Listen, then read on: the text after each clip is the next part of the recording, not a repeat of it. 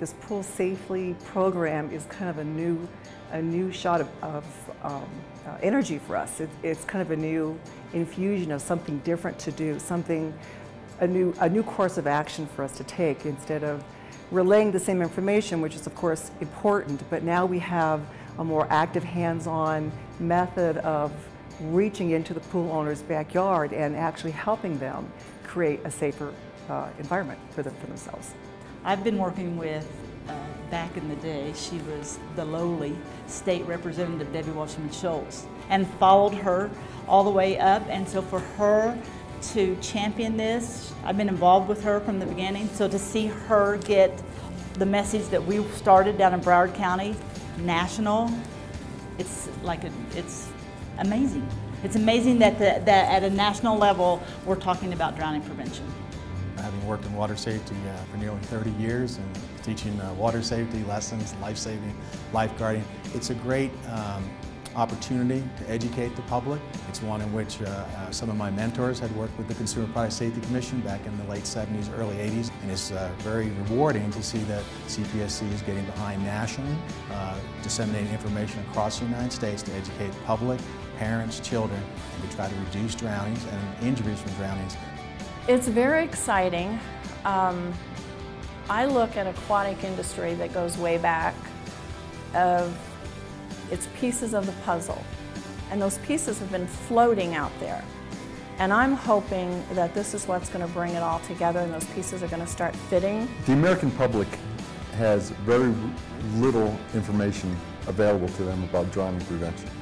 And the uh, Uh, Hollywood movies and, and, television shows and so forth all put a whole different being to what drowning is all about.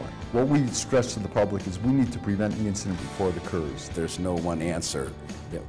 The risk of drowning is constantly evolving and you have to have multiple strategies in place and they have to be maintained. And through programs like Pool Safely, we're able to keep that in the public's eye and I hope we can sustain this program for, for decades to come with this campaign really shows that um, we've come a long way. I am very grateful for Pool Safely and um, giving us that ability to uh, collectively work together across uh, many different agencies and network and become force multipliers in drowning um, prevention. I think I've waited all of my adult years for the perfect message and this is so easy to pass on and to distribute and it, it just flows beautifully um, and I can't thank you all enough for it.